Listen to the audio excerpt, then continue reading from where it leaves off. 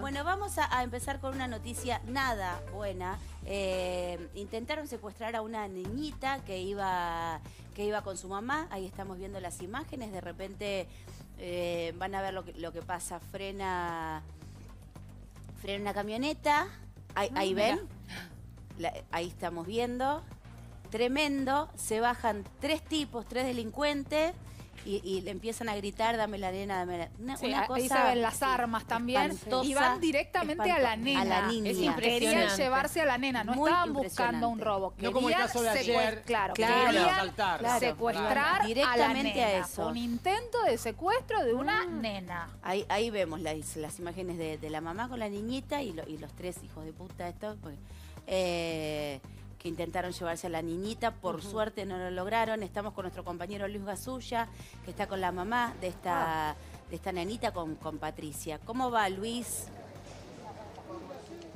Hola Maju, una vez más la inseguridad es protagonista Ah, de un móvil de todas las tardes y de la realidad argentina. ¿Por qué? Porque en Lanús Este denuncian que es tierra de nadie. Un intento de secuestro a una nena de 8 años. Patricia es la mamá de la nena que eh, a las 19.30 horas, a dos cuadras de acá, intentaron secuestrar y ella, eh, a pesar de que eh, intentaban eh, y tenían armas, estaban armadas estas cuatro personas en, una, en un utilitario, en una camioneta utilitaria, evitó que se llevasen a, a su hija. Contame, Patricia, ¿qué fue lo que viviste? Bueno, hola, buenas tardes. Eh, Hola, bueno, en principio fue un horror lo que viví. El tema es el siguiente, yo había ido al negocio que tiene el papá de mi hija a pedir un dinero.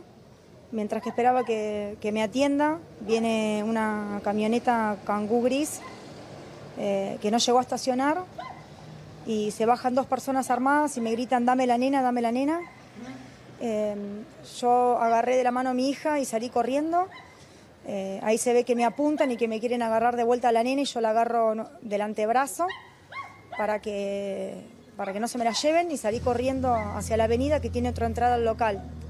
Eh, en ese momento, cuando entro con fuerza, le, rompo el, vidrio de la puerta de- del local del papá de la nena. Mientras que yo entro al local, una persona que estaba ahí vio todo, me, me entra a asistir si necesitaba algo, que había escuchado todo lo que pasó. Le dije que no se haga problema porque era el local del papá de la nena. Y se ve que en ese interín eh, el papá de la nena sale por donde yo había tocado el timbre 10 minutos antes. Y, y cuando mira para un lado para donde estaba yo y, la nena, se encuentra con estos malvivientes que, que regresan de seguirme a mí desde la esquina y lo apuntan diciéndole, metete adentro porque te quemo. Entonces él se, met- se metió nuevamente dentro del local. y- ¿Qué supiste de los malvivientes? Porque siguieron en su raid delictivo en las calles de Lanús Este. Sí, a media cuadra de ahí lo roban a un señor que lo apuntan, le roban el celular y después siguen camino y chocan contra un colectivo de la línea 299 en la esquina de, de Esquiú y Las Piedras. Y la camioneta queda embestida en un palo de luz y estos malvivientes escaparon. Ahora, Patricia... Ahora Maju, Maju, Patricia los está escuchando. Sí. Patricia, ¿cómo estás? Maju Lozano Sí. te saluda. Gracias por, por el móvil y te abrazo desde acá porque es la, pesa- la peor pesadilla que puede, que puede vivir una mamá con su niña.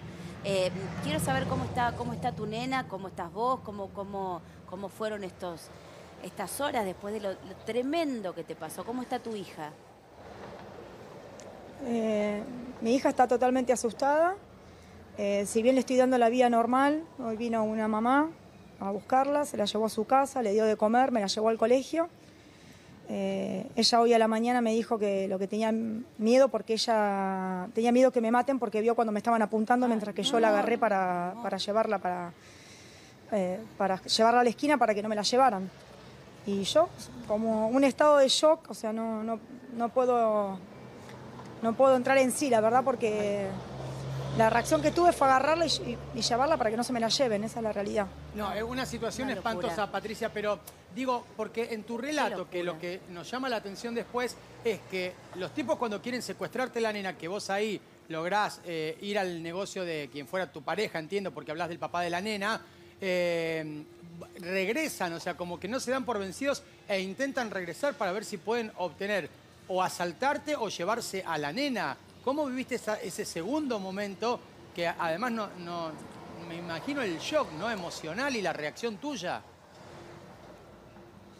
No, yo cuando vi que los tenía atrás y que mm, de- me, o sea, ingresan de vuelta, pegan Mm. un manotazo para llevarme la nena y la agarro. eh, nada, yo reaccioné, salí corriendo y le grité a mi hija, Valentina, corre, Por como para que ella salga corriendo, que si Dios. me dispararan porque tenía un arma en la cabeza yo y otra la nena.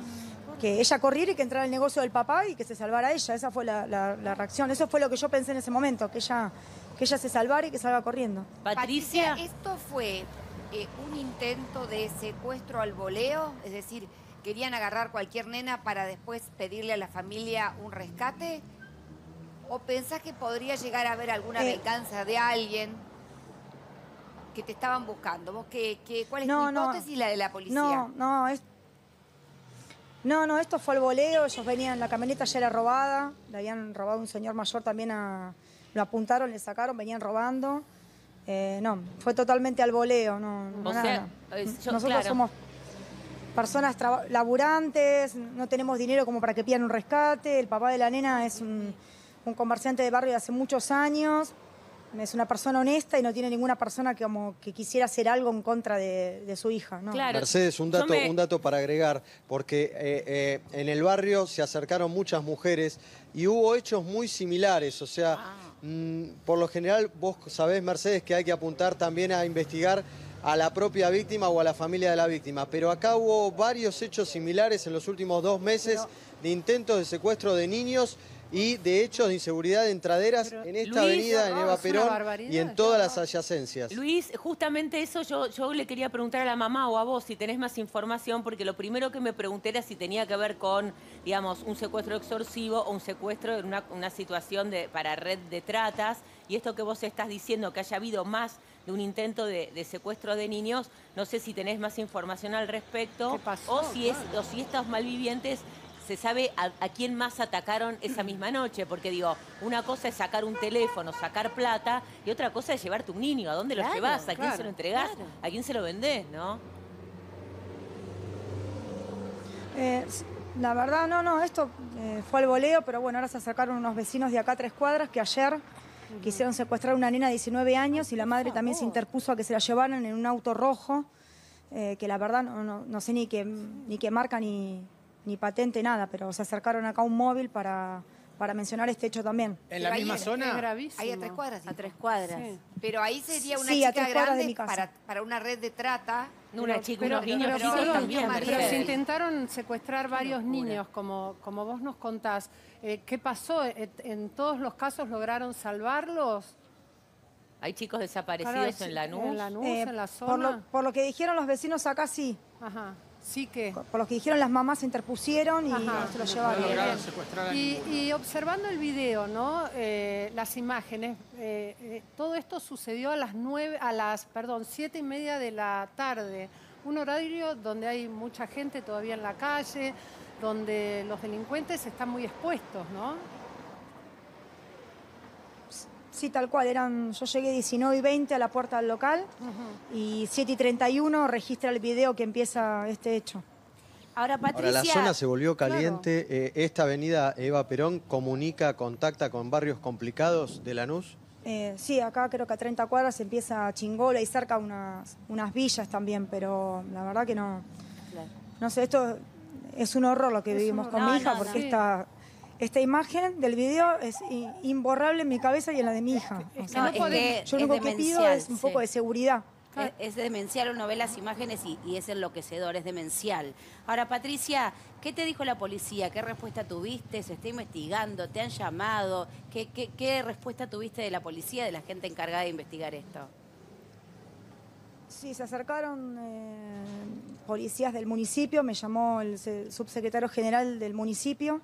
Mañana tengo que ir a la oficina de él eh, con la denuncia, con los padres, contarle bien, bien el hecho, si bien ya lo saben porque lo vieron, y ver cómo reforzamos el tema acá de, de la seguridad. ¿Pero les porque- pusieron custodia a ustedes en tu casa? Eh, ahora no, me, están mandando, o sea, me están pasando los patrulleros y, y ahora está parado en la esquina un, un móvil del municipio. Patricia, con lo que estás contando, no sé, me imagino que todas las madres del barrio de- deben tener miedo de mandar solas a sus hijas al colegio. Por ejemplo, una chica de 12, 14 años que normalmente Sí, ya se puede caminar, claro, 3, 4 cuadras solas, pero así es muy, muy arriesgado, ¿no? Me imagino la preocupación de todas ustedes. Y sí, están todos asustados porque con este hecho que se viralizó, eh, hay muchos chicos que el colegio de mi hija saca a dos cuadras de mi casa y van y vienen caminando solos Claro, porque ya con 12 años los padres lo mandan porque viven a dos o tres cuadras. Bueno, pero ante la situación de lo que está ocurriendo con tu relato, con lo que pasó ayer también en, en- en otro caso que, que tuvo, que ocupó gran parte de este programa y de los noticieros, que, que fue Vox Populi, digo, el- el- ustedes están esperando a ver qué recaudos eh, van a tomar. La policía se hará presente, los patrulleros. El tema es que esto no dure solamente lo que la noticia es noticia, es decir, dos o Sí, tres días que y que después tiempo, ¿no? desaparezcan, porque cual. lamentablemente termina siendo moneda corriente. Cuando se expone un problema, van, lo tapan, aparecen y después, ¿quién se hace cargo? No, la noticia ¿Cómo es la ustedes mala mantienen la, eh, a resguardo a sus hijos, a ustedes, de los robos o de los intentos de secuestros que claramente, por tu relato, fueron más de uno? Exactamente, lo- que no, que es como dicen ustedes, que no dure un día, 22 dos días, tres días, sino que estos se empiecen a ocupar. Claro, Pero ya te digo, se- me pusieron a disposición móviles, policía, cuerpo, vinieron hoy una, un asistente y un Claro, pero ten- psicólogo. podrían haber venido antes, que había otros hechos. Eh, te agradezco, Patricia, quédate un segundito, por favor, esperanos.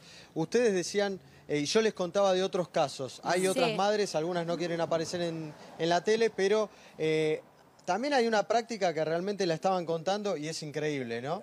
Eh, Maricel, vos me contabas que cada vez que salís eh, a tu casa, Miro rumbo para- a cualquier comercio, a hacer algún salgo- trámite, tenés que, salís corriendo. ¿Por Salgo qué? corriendo a las 7 menos cuarto de la mañana a trabajar para Pero ver- ¿cómo corriendo? corriendo porque tengo miedo que me aparezca alguien y me, me- me asalte y No, bueno, claro, y ahí esperar la- el colectivo cinco minutos y tomar el colectivo. Esconder todo el celular, todo, porque tengo miedo. O sea, vos tenés la hipótesis, eh, tenés la práctica que una persona que está corriendo difícilmente la salten. Y sí, no Un sé, yo, delirio. yo Luis, buenísimo, miedo. pero es Y te digo más, el 2 de abril entraron enfrente de mi casa, no había nadie, le entraron por el balcón, primer piso. Eh, cuando llegó la familia, estaban adentro y de adentro le tiraron una, una silla y empezaron a gritar y los tipos saltaron como ratas, saltaron y se fueron, se llevaron un montón de cosas y es la modalidad ahora. Luis. Es tierra de nadie. Lanús este es lo peor, Lanús oeste está hermoso. Policías por la NUS este está complicado. Complicadísimo. Esperame un segundito que te van a preguntar algo del piso. Carla, sí, te estoy Luis, escuchando. Te quería, te quería consultar a vos ahí que tenés este, varios vecinos de Lanús. Eh, me quedé me- preocupada y, y- y, digamos, atormentada por esto que decís de los, disten- los distintos intentos de secuestro a chicos. Me, me- me hizo acordar un poco al barrio de Flores el año pasado y el anteaño pasado, donde era una práctica frecuente cerca en las inmediaciones de los colegios. Este, con, con autos intentando llevarse chicas. Sí, a una chica la mataron ¿Te acordás? Hubo más de un caso en muy breve tiempo y era en el barrio de Flores. ¿Esto es algo que está sucediendo en Lanús? Los otros chicos que mencionaste que habían intentado secuestrar, eh, ¿de qué lugares había sido? ¿También al voleo, de cerca de los colegios? ¿Cómo fueron esos casos? Básicamente, eh, nos contaban los vecinos, son casos que ocurren en esta avenida, en Eva Perón, en las adyacencias de esta zona. Es una zona, como verán, es una avenida de mucho tránsito y que conecta distintos barrios. Es Claro, una de- debe ser avenida fácil de- que de salir de ahí. posibilita escapar rápidamente. Claro. Escapar rápidamente porque tenés a 25 cuadras un barrio complicado, la zona de Monte Chingolo, y para el otro lado también tenés otra zona complicada que es la Villa Diamante, que nosotros estuvimos hace un tiempo Sí. cubriendo Sí. hechos de inseguridad de vecinos de un barrio que no conocían la, inseguridad y de repente sufrían entraderas todos los días. Bueno, evidentemente es una modalidad de eh, un tipo de robo que es, son tan inexpertos que no terminan, por suerte, de concretarlo, que amenazan, que intentan llevarse eh, menores, que son los más vulnerables.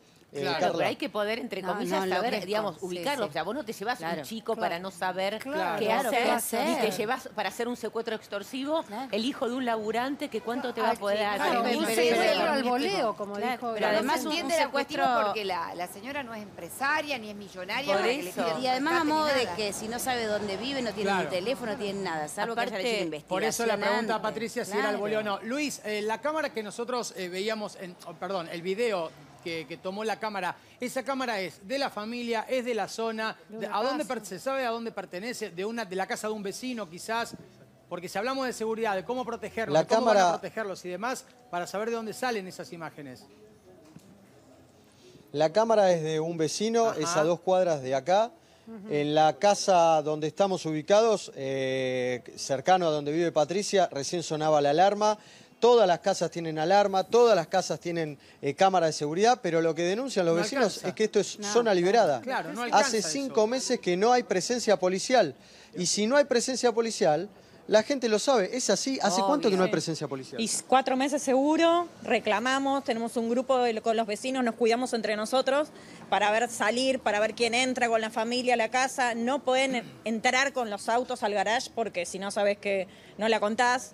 Entonces nos estamos cuidando entre nosotros, ya hicimos reclamos a la municipalidad, no pasó nada, no hubo una respuesta, solamente que hay un patrullero de vez en cuando, pero con un patrullero no se hace nada. Por eso la aparición de la policía que no sea Sí, por u- 48, Claro. 72 horas como Ahora- hablábamos recién con Patricia, ¿no? Ahora, Luis, presentes. Luis, ¿pasó algo? Porque la, eh, la señora hablaba de estos últimos cuatro meses. ¿Pasó algo en estos cuatro meses? ¿Hubo un cambio de comisario? No sé, digo, ¿hubo algo? Porque, Que habilite la zona, Que habilite la zona, digo, porque cuatro meses es poco. No es que decir, no, hace años que es inseguro y que viene pasando esto.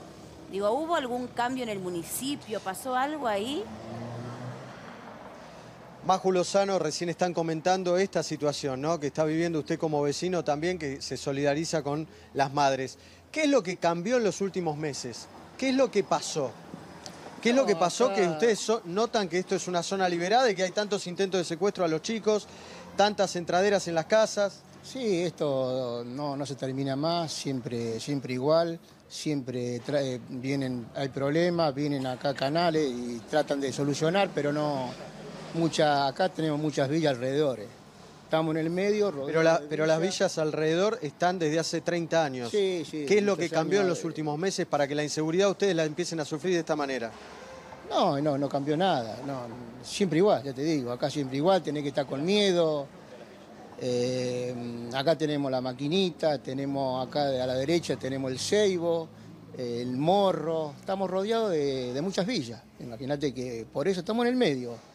Yo tengo una ropicería acá en la otra cuadra, que también eh, estamos ahí con miedo y tuvimos que enrejar todo, eh, lo que es el, lo- el local, digamos, porque imagínate, estamos a las 24 ¿A cuántas cuadras está la comisaría más cercana? eh, la- acá, acá nomás, cuatro cuadras, La tenemos la ¿qué es la departamental de? Lanús.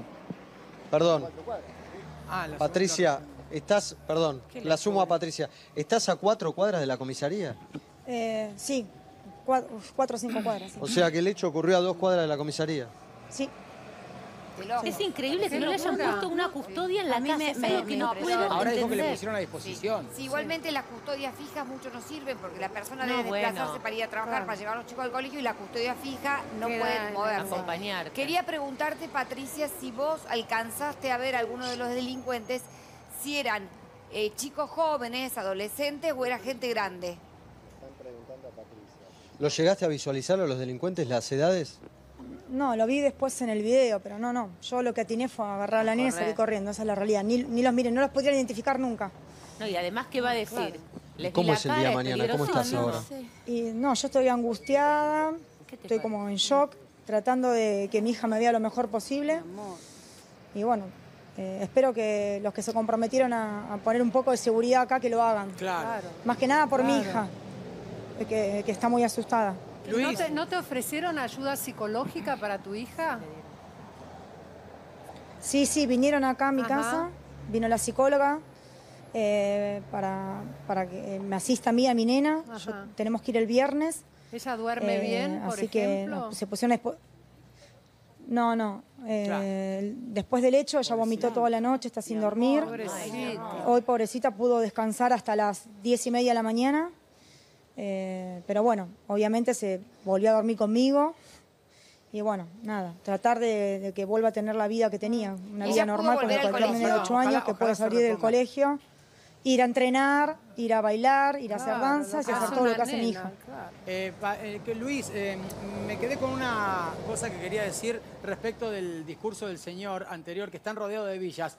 Eh, no metamos a todos en la misma bolsa. En la villa hay gente laburante, hay gente pobre pero que no sale a delinquir, hay Por- gente que vive y que sí. no se droga. El ni que- 99%, bueno, por eso digo, estamos rodeados de villas, no significa que gente de la villa, Claro. o sea, para no meter a todos dentro de la misma bolsa, Claro. porque también gente que vive en la villa nos puede estar mirando y no tiene por qué gratuitamente, los que no son delincuentes, ser metidos en la misma bolsa, para que se entienda y separemos las cosas. Ser pobre, vivir en una villa, no te No, convierte obvio. en delincuente.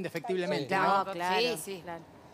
No, Claro, claro, claro que sí, Lío. Lo que pasa es que los delincuentes, por lo general, los delincuentes, por lo general, en estos tipos de barrios, suelen esconderse en las villas. Claro, se Claro. meten Los ahí. delincuentes Ellos eligen las villas para esconderse, porque esconden saben que ahí, ahí. ele- exactamente, los utilizan Ese está lugar bueno de aguantadero porque saben que el Estado, por lo general, no logra entrar eh, Claro. en, en la Villa Es Miseria. impenetrable. No, no, un nivel de, un, ni- un nivel de, de- de locura es, es enloquecedor, es desquiciante.